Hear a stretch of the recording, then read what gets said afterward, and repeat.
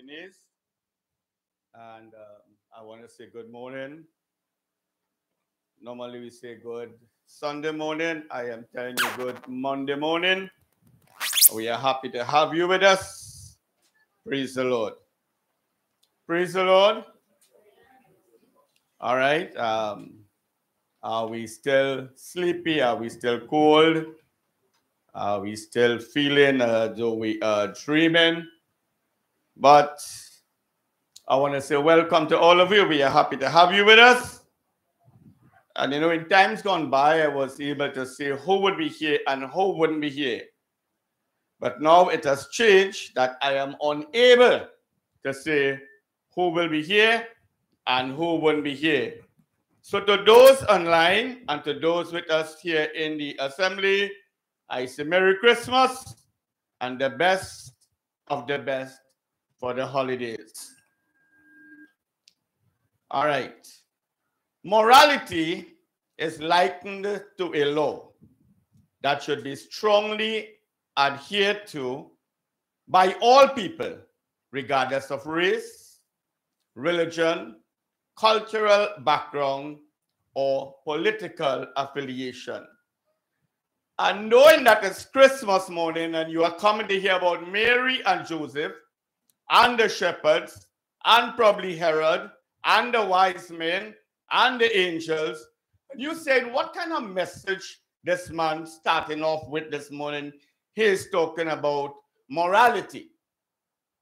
But the moment you and I hear the word, and in the realm of Christianity and in the realm, the circle of the church, the moment we hear the word morality or immorality, there's a tendency for our minds to run in a certain direction, and all we can think of is adultery and fornication. But when I look at Revelation chapter 21 and verse 8, it will tell you and I that there are whoremongers and there are liars and there are murderers and there are those that commit abominable acts. And then there's an area that we don't hear in the church. We don't hear about this, but it's just as equally as adultery or fornication or stealing or murder. And that's the Bible says, the word of God tells us in Revelation 2 1 and 8 that all idolaters, idolaters, we don't hear about idolatry. We hear about adultery, but idolatry is just as equally as important as adultery. Idolatry is anything that you and I place before God. We make this an idol. We begin to give prominence to this. We begin to worship this. We give our time to this. And this have taken place of the Most High God. I tell you, amen. All right. Now that's idolatry. And then we go back to the Ten Commandments, and then thou shalt have no other gods before me. Thou shalt worship no other gods. Whatever, whatever you and I give place to before God, we make it an idol. Like I said before, I don't know who was going to be here or who wasn't going to be here. Like somebody told me, more than one person said, You throw stones, but I'm not throwing stones. I'm sorry. This is the word. And somewhere, some time ago, somebody confirmed this word, and I hear Minister Sastry confirmation in some areas as well. So the question begs to differ this morning, or the statement begs to differ. Why are you making such a statement, a broad-based statement, on a day like today, on a morning like this morning? It's simple. It is simple. Very mankind in its entirety, inclusive of what appears to be called the church, not the church. Listen to the words. What appears to be called the church. Because every person in a building, and there's the pulpit, and they're the instruments, and they're the leadership, and they're the people, we call it a church. But does that group lines up with the qualifications that Christ himself laid out to label the church, which he said, my church? We have our church. I can call this my church. But then my church or our church need to be the church of Jesus Christ, else we are not the church. Amen. Amen. So right away, we need to decide this morning whether I am part of the church or I am not a part of the church. In many assemblies, many religious gatherings, right? We label ourselves the church, but something is missing. And what is missing? What is missing? Jesus Christ have been left out of many assemblies of many of us who say we are believers. We have taken the Lord and we have put them aside. We have taken the Lord, we have put them aside. We have taken the Lord, we have put them aside, and we run things. I am running things. You are running things. And then I lift my hands as the brother or the brethren say, and bless the Lord. Which Lord am I blessing? When I'm up loving the Lord.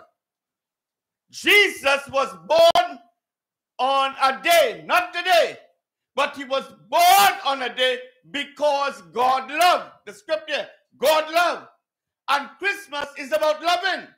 And I'm hearing the worship leader or one of the worship leaders talk about stop hating, stop backbiting, stop gossiping, stop the pulling and tugging, then we should not be here this morning if that's our agenda. We're not going nowhere. We are not going anywhere, and we'll get to that in a bit. So, what do we have this morning? We have a sign no room in the inn. We look at the innkeeper and he shouted, There's no room in the inn. We put up the big sign when Jesus passed by, no vacancy. I am my own boss. Recently, this week, we had to do a funeral, unexpected. And I remember Sister Pulmati always this big laugh, and she would come and how you going, boy? Then I would hear her calling Robbie, Robert, the husband, Robbie, Robbie. And every time they were here, they spent some time here with us. And even when Sister Kathleen came back to look after the family, she would bring the mother until the point came that the mother could not come anymore. The woman I knew, but aside to see, not condemning or making a, a thing out of it for want of a better expression. When I saw her in that box, she melted down and I wasn't aware of that. And I hear Minister Sasri talking about sickness and thinking and talking about situations, and none of us are too strong or are too healthy when we decide to turn our back and walk away from God. I heard him this morning with a warning, and the warning is coming. I told this assembly come November, like last month. I know what's going to happen here, but something is happening. We need, there's a song we used to sing in Sunday school. So I buckle up my shoes and I started. I started. I started. And I buckle up my shoe and I started. And I started my way back to God. I'm saying to us, yes, it's Christmas morning. Yes, it's the message of the manger and the birth of Jesus, but we need to buckle up the shoe, pull the lace, if you don't have a buckle, and let's start 2024 is just about six days away. We don't know what's going to happen in the six days. We don't know how many of us will be called unto the beyond. It's Christmas morning. It's a message for the church. Amen. Amen. But I don't want to talk about Herod. I don't want to talk about Joseph and Mary as we are accustomed to. We have been hearing about Mary and Joseph for many, many years. I want to go in another direction this morning. I want to look at some places. I want to look at a couple persons. So the first place we're going to look at is Nazareth to Bethlehem. Nazareth to Bethlehem. From Nazareth to Bethlehem, it was 90 miles. Mickey was telling me, I tell him, researchers, Google this. From here to Port of Spain is about 34 miles. So the distance from Nazareth to Bethlehem was like three times the distance from here to Port of Spain. Mary is in a ninth month of pregnancy. So Mary is not like Candace that she's slim and trim and she could run. Mary is carrying an additional weight and they are traveling from Nazareth to Bethlehem. Why? Why does Mary and Joseph or Joseph and Mary have to leave Nazareth and go to Bethlehem? Some of us need to leave our Nazareth and go to Bethlehem. We in Nazareth too long. We dwelling in Nazareth, and I'm saying this when in preparation of this and meditating on the word, it says, though the Spirit of God was saying to me, Word and Spirit Assembly in Kumar Avenue is dwelling in Nazareth for too long. We need to move from Nazareth and get to Bethlehem. If we don't go to Bethlehem, the miracle will not happen. Oh. Bethlehem means house of bread. Is it significant? In John 6 35, Jesus said, I am the bread of life. He had to go to Bethlehem. Bethlehem means house of bread. Jesus is saying, and John records, I am the bread of life. And verse 51 to 59, he says, I am the what? The living bread that came down from heaven. Around this time, a lot of baking takes place, a lot of homemade bread and ham. And Jesus is saying to us this morning, I am the living bread. When you eat of me, you will not hunger anymore. When you drink of me, you will not thirst anymore. He's saying, Come unto me, all that carrying this weight. We are carrying this burden. He says, Come unto me, and I, Jesus, will give you rest. We look at the Prime Minister Rowley to give us rest. We look to Colm Imbert to give us rest. We look the Republic Bank to give us rest.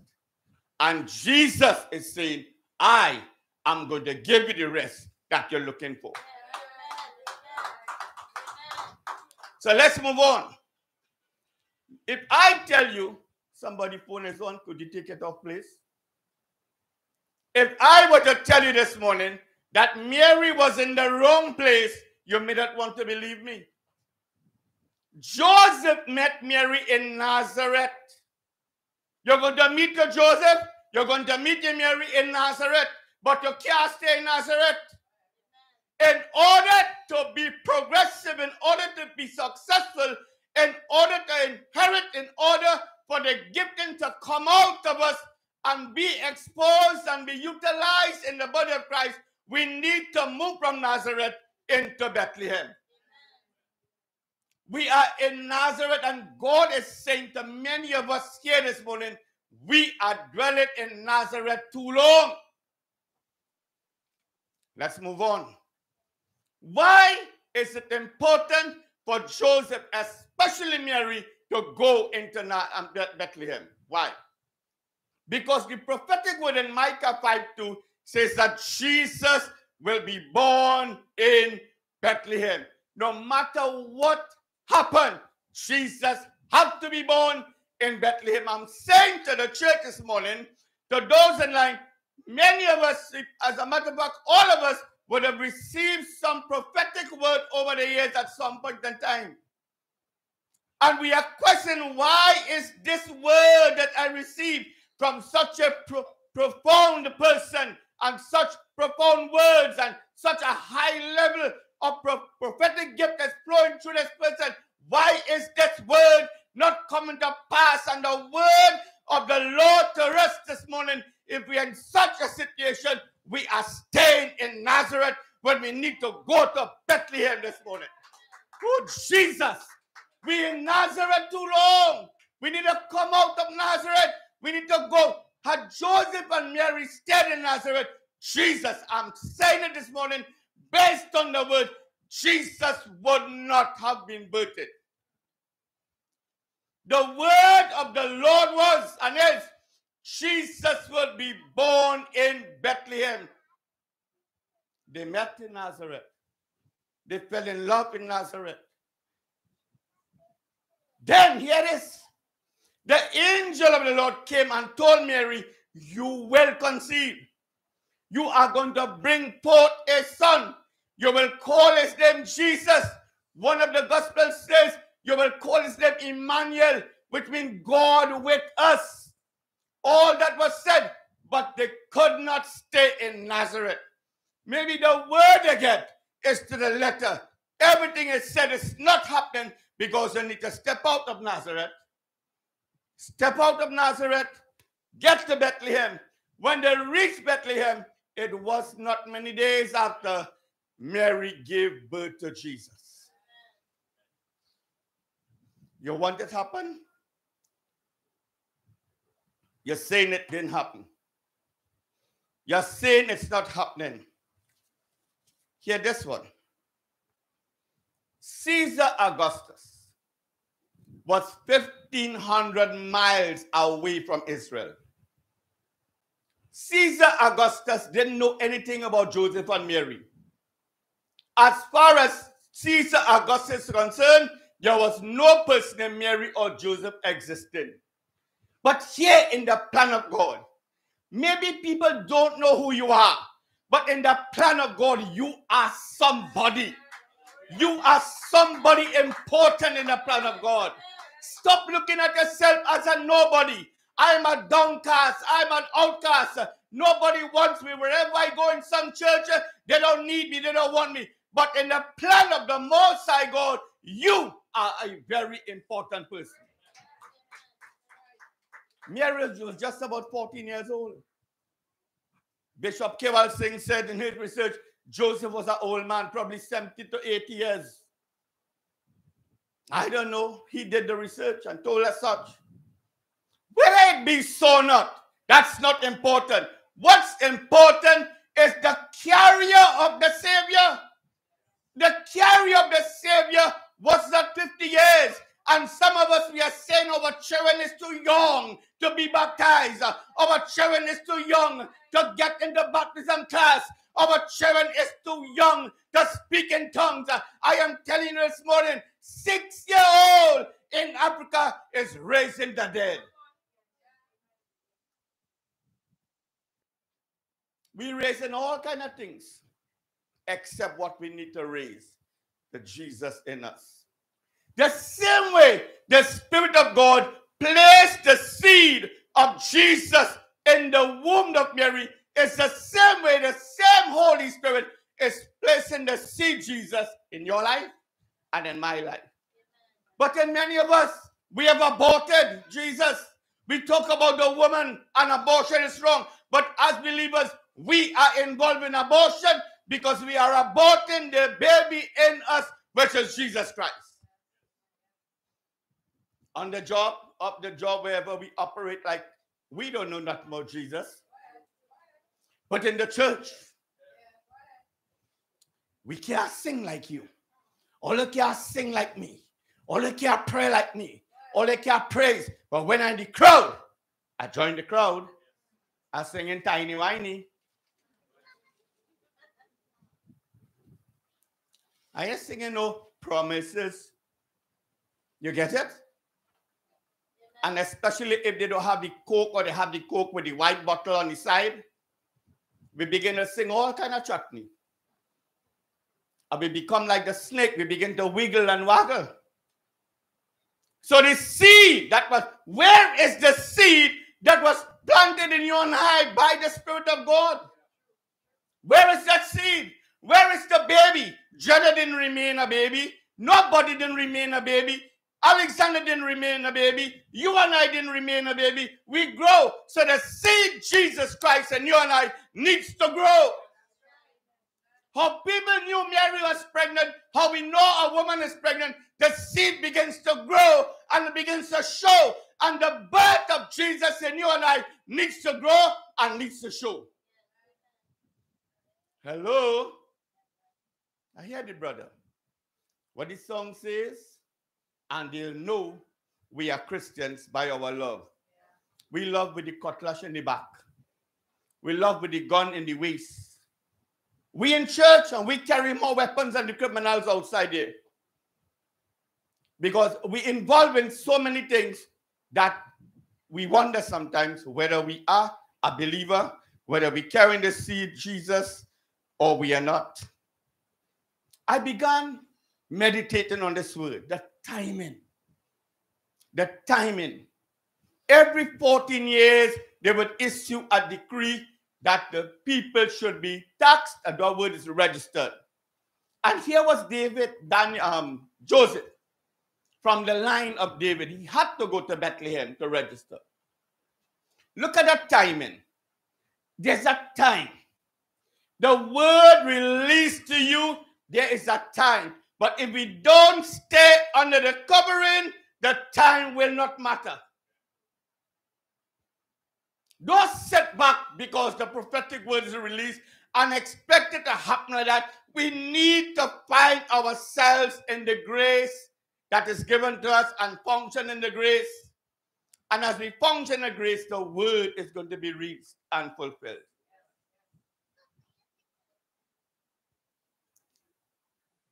Had Mary stayed in Nazareth? Give it some thought. If you know the God that I am talking about, his words say Jesus is to be born in Bethlehem. The census took place around the same time that Mary was in her ninth month. I, I, I can't, I try to fathom this God, the timing of this God, how he works in a timing. Everything is that timing. Mary and Joseph traveling 90 miles from Nazareth into Bethlehem. And the four days journey would bring Mary to the place where she, the Bible says, she was about to be delivered. The timing. The timing. Had they stayed in Nazareth, what was really going to happen? What was God Almighty going to do? Shake up the whole plan? Restructure the whole plan? His word is already released. His word must come to pass. So, regardless of whether Caesar Augustus knew about Joseph and Mary, he issued a decree, and Joseph had to go to Bethlehem. What about you and I? Are we in the wrong place this morning? That's why the word is not being fulfilled in our lives, ministry wise. And if word and spirit assembly, we are in the wrong place, that the word spoken over this assembly is not being fulfilled, then each one of us, as members of this assembly, we are in the wrong place as well. Because it takes each one of us to make up this gathering, to make up this body, to make up this fellowship. So that when we look at it from that angle, all of us are in a really terrible state. Oh, don't say amen. We are. Are you where you're supposed to be? Are you doing what you're supposed to be doing? Are we collectively functioning? What about are we in the wrong place in ministry? Are we in the wrong place in relationships? Some of us, God has been speaking to us about relationships that we involve in. Mm. If you don't like this, I can't help you. I really can't help you. Because this is not my word. Like I said, I didn't know who was going to be here or who wouldn't. relationships can either help us to go higher or go lower. Relationships can cause us and the giftings to come out and be used and utilized by God to the whole body to benefit the body, or we can keep it here and clogged up. You never hear people die from heart attack, a clogged artery. So if you and I are experiencing as a body, word and truth assembly, a clogged artery, we are dying. If you study HSB, you do HSB, you'll read about the amoeba. It divides itself and multiplies. And the time has come for us to divide and multiply. We cannot stay like this. We need to grow. And the growth is not just a few people. It's not just a pastor or pastors or leadership. Every one of us needs to come to that place to grow. To grow. It must be it. That's why we have a body. If it was a one-man team, then one person. No, but it's not one man. What about our, where we are with God? Our relationship with God. Are we in the wrong place? Where are we? What about our position or our office in the ministry in the assembly? Are we in the right place where God wants us to function? God wants me to function here, but I say no. I want to function here. Or I want to function here. Or I want to. Are you getting the word this morning? It's where God wants me to function. It's where God wants you to function. God has been speaking to people here, I realize, when other ministers come in and they are telling the people here the same thing I've been saying. So then if you want me to bring people from the outside so you can move from where you are to excel in your giftings, I'll do that. But you see, if you know me, you don't realize what I'm doing. I'm doing everything possible so not one of you can stand before him on that day and say he didn't tell us. I am bringing the people, I'm exposing you, I am getting the people teach your word. What about our conduct? Are we in the right place of our conduct? Our behavioral patterns and practices. What about our attitudes? Boy, I have seen some people in ministry with some attitudes. Tell me why, sister. The attitude, permit me this morning. Let me use it. The attitude stinks. And then when they come here, you want me to sit down and listen to you. When you speak to you, want me to tell you follow this person. You want to tell me look at this on YouTube. And your attitude really messed up. Then it tells me, it leaves me, we all have attitudes, but some is way beyond. Some of us, our attitudes are like that of the man that is not born again. So what's the difference between me and that man? We all make mistakes. I tell you, 99% of the time, I make mistakes. But there's some attitude, and I can sense, I feel it. Hear me this morning. I feel it. When you speak to me, I feel the negative spirit behind that. So that cannot be a spirit from God. It cannot be. We want to excel. We want worship. We have heard so many times those in worship say, we want the worship to excel. We want healings and miracles and deliverances to take place. Yes, we want that. But not only the worship team or the worship leader or the musician, all of us need to get together. There's unity in the body that is required in word and spirit assembly. Not one person alone clean the church. Not one person alone doing this. Not we need to come together Yes, it's Christmas morning. It's a Christmas morning message. And the word to us, are we in Nazareth or we going to Bethlehem? You want to stay in Nazareth? That's your choice. If you know me, I'm not going to force you to stay in Nazareth or to go to Bethlehem. I will do what I have to do. I will encourage you, but you make a choice. What about mentally? as believers, you know our mind is renewed. Oh, I heard you many times before. Romans 12, 1 and 2.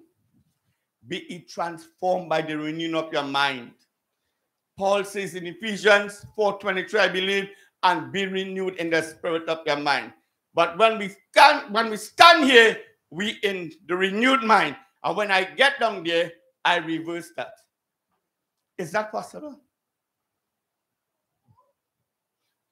Don't believe or feel for a moment that I will be tempted. I am more tempted than all of you here in all areas. The devil don't respect nobody. You could wear about 40 at this one time. That, that means him, he target you and target me. And he's coming at you and I. He's coming at you. And what about spiritually? Where are we? Are we in the wrong place spiritually? I have come this place that there are people in churches, and I'm hearing that many men, big televangelists, have found themselves in witchcraft. It's coming out. It's coming out in the open. And it's nothing to be um, glorified about because it's going to affect the church. And you and I are part of the church. So we are going to hang our head. You see, when you and I do something like Achan, it don't affect me alone. It affects Achan whole family. And when we do something like them, like Michael, you normally say they use the H word. Who the H? You know what I'm talking about is he. Right? That's okay. You can say what you want about me, but I'll keep doing the best that I can. Even if I don't make it, you have to make it. It's a wrong statement. But it's the passion with which I do what I do. I want you to utilize the gifts. Every person has a gift. Don't let's not come and sit down as though we are crippled. We have giftings. We have ministry in us. The seed is in you and I. And we need the seed to begin to grow. If you don't leave Nazareth, you will die in Nazareth. We need to move on. The miracle would have only taken place once Mary and Joseph reached Bethlehem. Jesus was not supposed to be born in Nazareth. Your giftings and your calling and your operations is not for Nazareth people. It's you need to come out of Nazareth to go to Bethlehem. And the miracle is going to take place. The barrier is going to be broken. The walls are going to be shattered. The Jericho walls will come down. The Red Sea will open. The Jordan will part its waters. We will go over into the promised land. But we need to leave Nazareth. Come, sister. Come, come quick, come quick.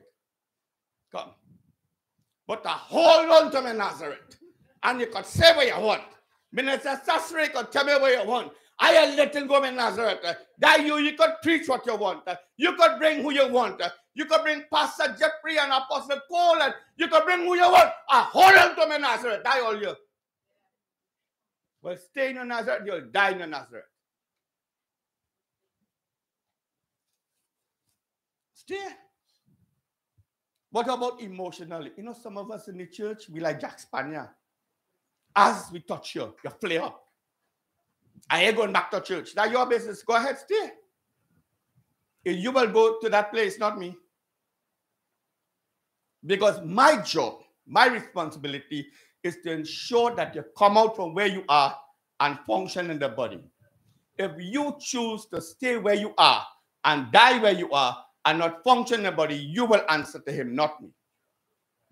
Not me. I am doing my best with all the shortcomings and this and that or whatever to ensure that this body is exposed to the word and they know that they have giftings and callings and so on to move out. Come out. Come out from where you are. Come out. We grew up playing hide and seek. Come out. Don't let somebody look for you. When the Lord look for you, he catch you. That's a different story.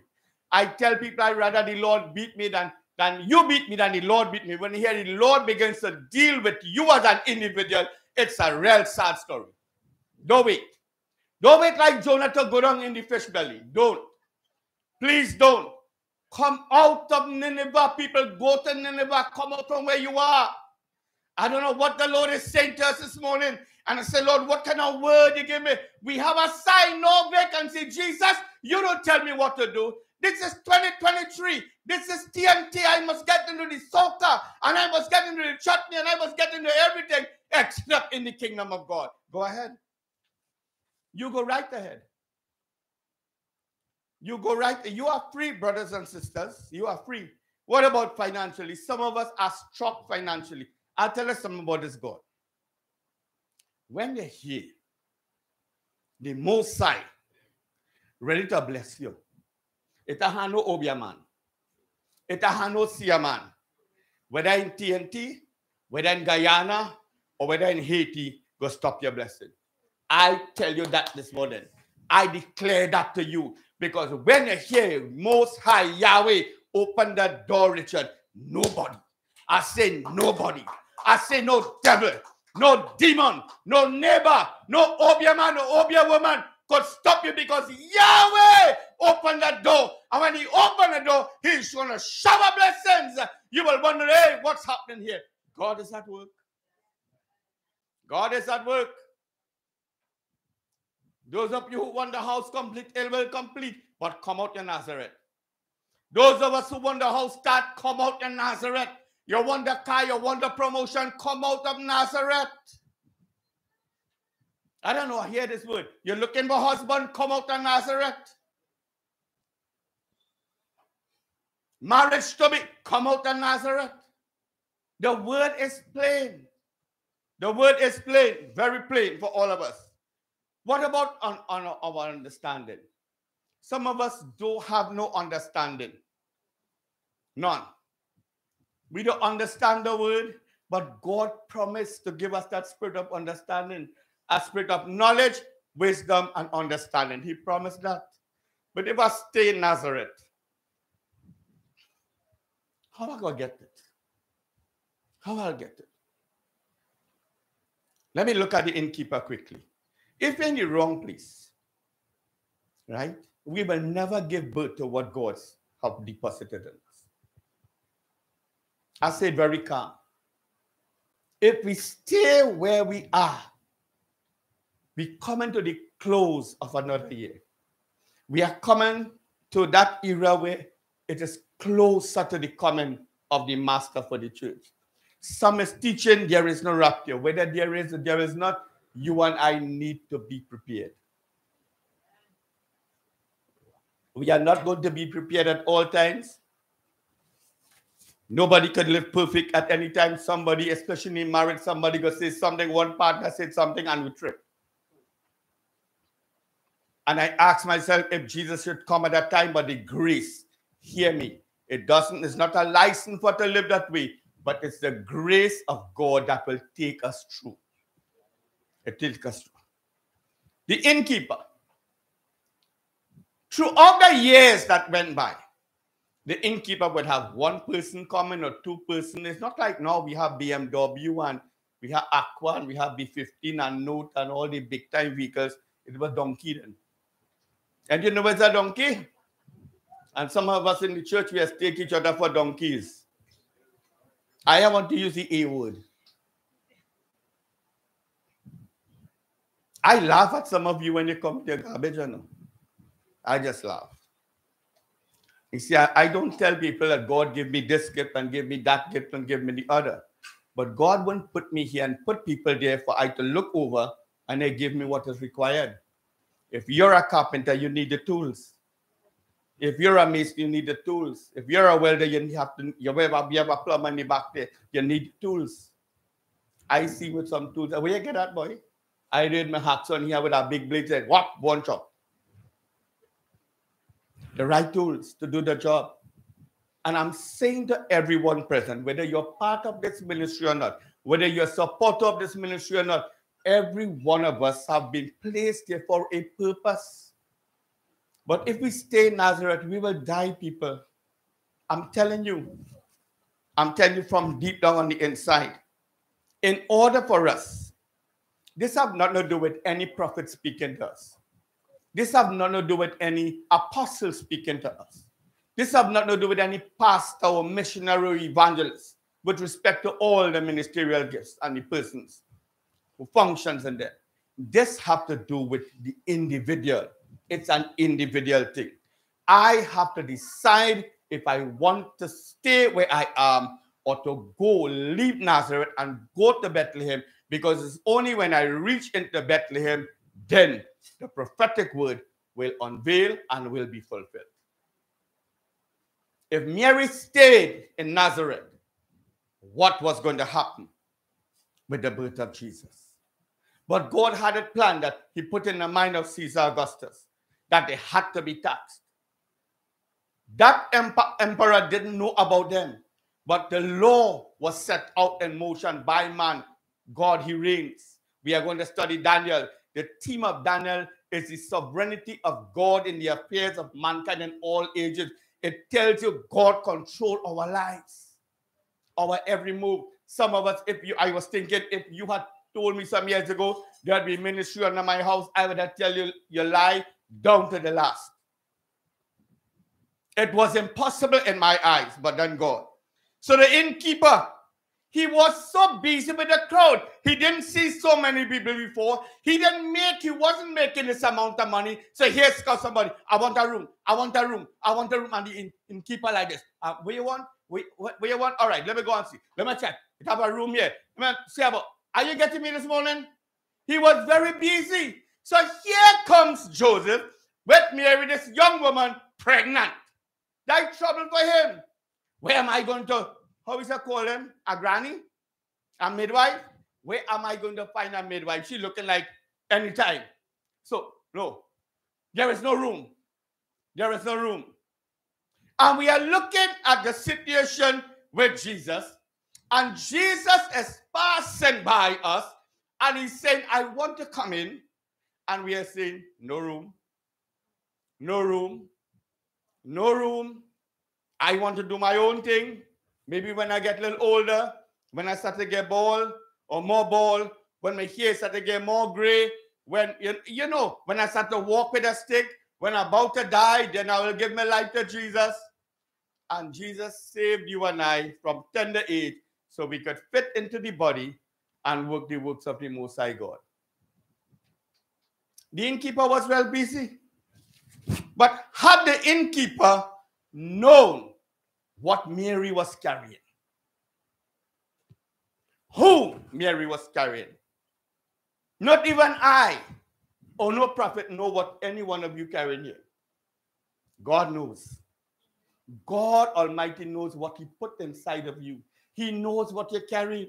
You see, the Holy Spirit knew what Mary was carrying and who Mary was carrying. The innkeeper didn't know. Had the innkeeper know that's the Messiah in the womb of this young woman, that's the Redeemer, that's the Savior of the world, he would have thrown out everybody from the inn and said, Come, I'll give you all the rooms that you need. He didn't know. Or maybe this morning, beloved, you're in such a position that we don't know. Come to me. I've been telling you, you want to work in the ministry, come to me. Let me know. I will know everything. I will never know everything.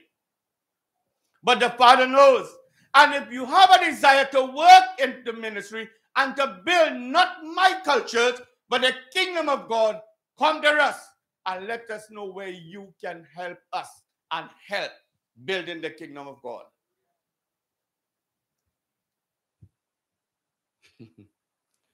Let me put it this way. In view of all the historical, all the archaeological and biblical facts of the death, the burial, and resurrection of Jesus Christ of Nazareth, Son of God, Word of God, Lamb of God, Savior, Redeemer, soon coming King, he's still knocking. He's still knocking. Is there room in the inn? Is there room? He's knocking at hearts this morning. He's asking, Is there room in the inn? And we say, No, no room in the inn, be gone. That's what we're telling Jesus. This gospel is real. Maybe you're not aware of that. Maybe you grew up in church like I did and just took part in everything and everything and was really not born again. And I had to go through an experience to come to the realization that Jesus is real. I wouldn't want you to go through that. And Minister Sastry will tell you and I, he wouldn't want nobody to go through what he went through. To come to that place, to acknowledge that Jesus, I sense in my spirit, God is calling people here this morning to get up honestly. I am not so brave, neither stupid to make such statements because I don't like fame and I don't like name. God is stuck in the hearts this morning. The choice is yours. He's still looking for room in the hearts of mankind. I want to tell you about Wally. Wally was a nine year old, nine years, but was a big nine year. It was around the Christmas time, and they were having pageant. Wally wanted to be a shepherd in the drama. But the teacher seen Wally's side say, Wally, I wanted to play the role of the innkeeper. So in the narration, and Mary and Joseph from Nazareth into Bethlehem when looking for a room. And they reached the inn, and Joseph was knocking. Wally place was to come out big, nine-year-old and John. There's no room in the inn. Be gone. But Wally came out and said, There's no room in the inn. And he stopped there. He froze. When the audience looked at the nine year old, they saw tears streaming down his cheeks. Wally could not say, Be gone.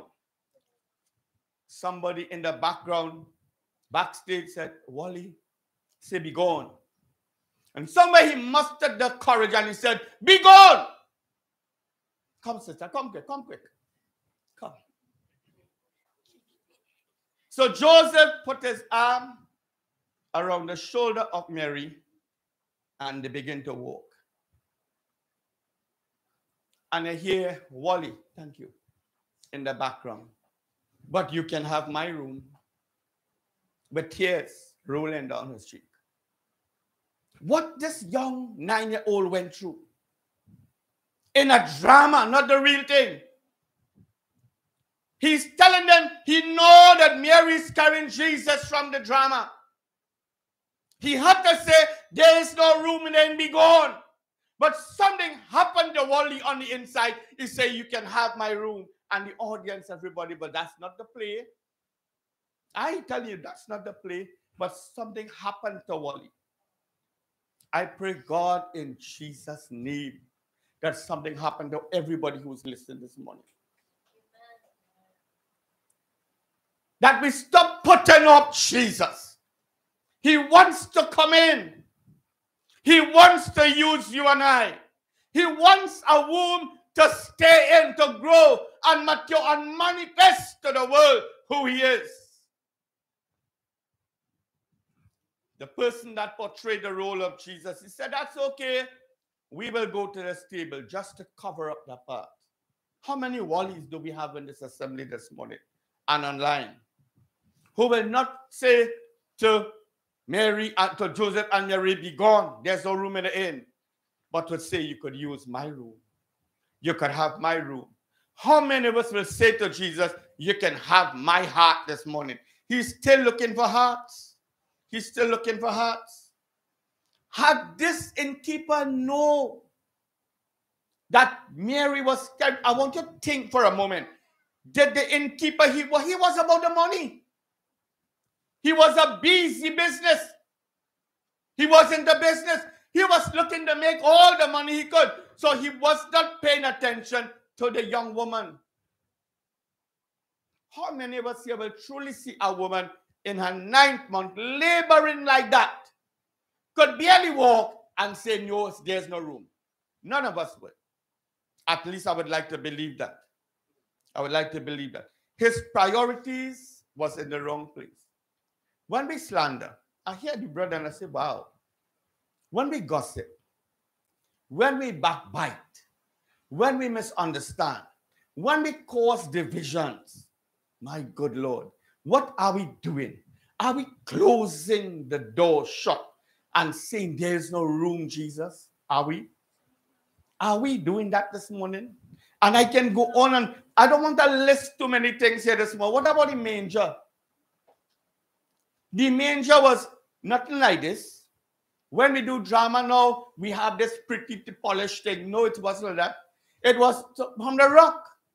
And they would take the chisel and they will hewn out a manger, a stinky something, a smelly something, nasty looking, dirty, right? But the manger was glorified because of the person who was leading it. You are getting that word this morning, right? Maybe you are saying, I am like the manger. I am stinky. I am smelly. I am nothing. I am. No, the manger had a place in this scene because they were donkeys. And when the people came and was housed in the inn, they need a place to put the animals. They needed to feed the animals. And the manger played an important role in housing the food for the animal. And if you are seeing yourself as a manger and you're saying, I'm not worthy and I'm not good. None of us are good. The Bible tells us not one of us is righteous. No, not one.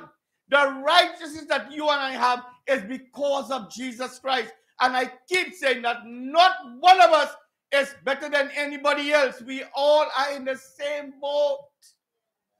We were all born in sin, shaped in iniquity. David said, and we were born in sin. Romans tells us the wages of sin is death, but then before that, he says, all have sinned and come short of God's glory. Everybody here this morning. The clothes we have on does not differ or distinguish you and I. We are saved by grace. We are who we are because of the grace of God. Our giftings doesn't make us any better than anybody else. I play the keyboard or the drums or the or the guitar or whatever doesn't make me anybody better than, than anyone else. It does not. We are all on the same level because when God looks at us, brethren, he sees the blood of Jesus. That makes a difference. Never put yourself above anybody else. we are given the grace. The giftings is the grace of God given to us so we can help somebody else. If we say that we are like the manger, give it to Jesus. Our lives will change. Our priorities will change. Our family lives will change. Our environment will change. Our religion and practices will change. Our behavior will change. And our destiny will definitely change. Give yourself to Jesus. He came for this purpose. He was birthed in a manger to make you and I sons and daughters of the Most High God. But if we don't give ourselves to Him, nothing will happen. I'll close it up here. They said the shepherds in the field were not the literal shepherds. Bethlehem was just about five miles from Jerusalem. And in Jerusalem, there were the temples, the synagogues, the tabernacle, and what that. And all of these with the religious men of the day had no room for Jesus. When Jesus grew up and he had to go to a temple and beat them, you know that. They had no place. They don't want to hear him. It's the religious people that killed Jesus. It's the chief priest, the high priest, paid people a lie and said Jesus did this and did that and did the other. Religion wouldn't help you this morning. Let me tell you something. Why I personally am happy to see everybody in here and here to be filled. All right. Coming to church wouldn't help you. You need to have Jesus on the inside. Jesus needs to be dwelling on the inside. Baptism won't save nobody.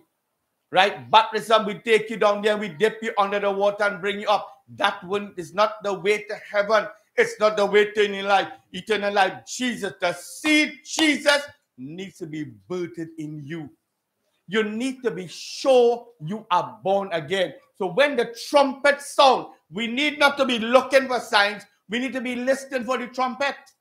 Oh, the church don't look for signs. The church need to listen. And many of us in the churches are listening to a lot of stuff. No offense. And it's not a, a damning statement. But we find ourselves listening to so many people and believing so many people that we miss hearing the Spirit of God. It boils down to you and God. It boils down to me and God. You know, when the Bible says that Mary gave birth and she wrapped her baby in swaddling clothes, hmm. I, don't, I, I thought I would have walked with some strips. It was strips of cloth. You see, the shepherds, they were priests who were looking after the sheep, but it was sacrificial lambs. They were looking or, or rearing lambs to sacrifice in the temple. So when the sheep would get birth, they would take strips of cloth and tie the legs of the lamb to keep it straight. Jesus didn't have no blanket like some of us. No brand name, nothing. Mary took the cloth that was in the stable and wrapped Jesus, strips of cloth. Today, Jesus is the King of all kings. Today, Jesus, right now, Jesus at the right hand of the Father. But Jesus come from humble beginnings. And maybe you are seeing yourself, I'm not in a class like them. Or we are not in their class. Don't let the enemy tie you up with that. You can rise above that. You can become the person God wants you to be. I am declaring to you, you can. In conclusion, the innkeeper, you know what happened to him? He missed. His story is a story of a missed opportunity. What about you this morning? Right there, close it, right there. Are you going to be like the innkeeper and miss this opportunity to house the King of Kings? Are we going to miss this opportunity? Jesus in December 25th, 2023, now is about nine minutes to 10. He's still knocking at hearts. Will you open up your heart and say, Jesus coming? Revelation 3 21 it is. 2021. Jesus, John writing. He said, Jesus, he said, Jesus, Jesus saying, Behold, I stand at the door and I knock.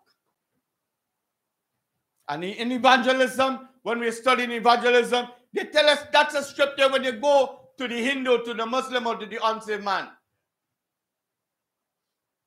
But John was writing, and Jesus was speaking about the church age we are living in. The Laodicean churches, where Jesus said, You need a hot, no cold. We there right there, we there with them. And you know, we there with them. They have church in. Yeah, they well, I'm going today. I next week I will go. What time is church tonight? Now that's too late. I go still. It have a good movie on TV. I don't know your business. I'm just speaking. And Jesus, I think every one of us drink tea at some point in time. Tea. And if the tea is lukewarm, it can't go down. And Jesus is saying to me and to you, not only to you, not only to me, but to all of us, you are like lukewarm tea. You're neither hot, you're neither cold. What are we doing? This year gone by, I didn't have the services of my brother here. I didn't have no help to go out in the street. I wanted to go in a village and blow it up for Jesus. But when I look around, who will help me transport the equipment? Who will help me set up? I'm speaking to you. All right. Who will help me if I have to get a tent? Thank God for Barry for the sport. Barry went all on his own, get the tent, set it up. I say, Barry, how much you pay? Say, you don't worry, Pastor, don't worry about that. We need more like Barry in church. He uh, got the people unmounted, took it back. I had nothing to do with that. And the time has come for you to help me. I'm not young anymore. We need the help. Somebody to help me organize a program. Somebody to help me. We need to reach the people outside there. While coming to church is good, and the Bible says, forsake not the assembling of yourselves in the house of God. It's a command. All say, thou shalt not steal and thou shalt not commit adultery. And. No, that's a command too. Fail not to assemble in the house of God.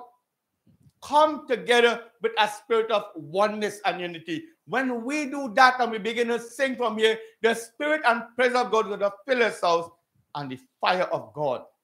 I want to see it. I want to see fire on top of my roof as long as we stay here.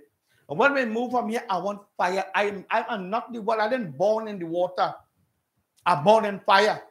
I like to see things fiery. And some of you can't understand me yet. Yo, I want things done at a certain manner. Professional. We can't be lackadaisical in the kingdom of God. Everything in the kingdom has been planned out. God is a God of order.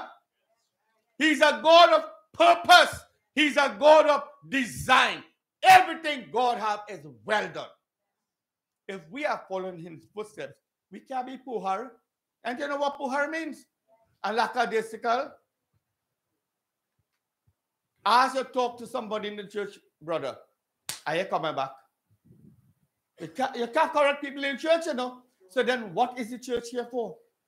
If we can't talk to nobody, then let you I I'm my own man. That, that was here. I'm my own man. I walking with my own money. I could go ahead.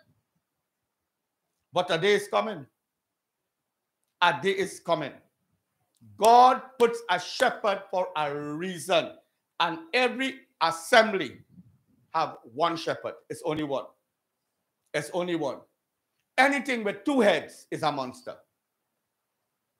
And the time will come, I will gracefully leave this role and somebody else. And I can guarantee you this morning, and in Jesus' name also, you're going to find another one like this. I will look for you. I will call it till some of you get fed up on me. But that's me. You have to get more fed up on me still. Because that's the heart. The heart. I, I never tell nobody bring 10,000. I didn't kick up and say, I want a pair of shoes or buy me a shirt. I never ask somebody. My job is to make all the necessary sacrifice to see you in the kingdom. That's my rule.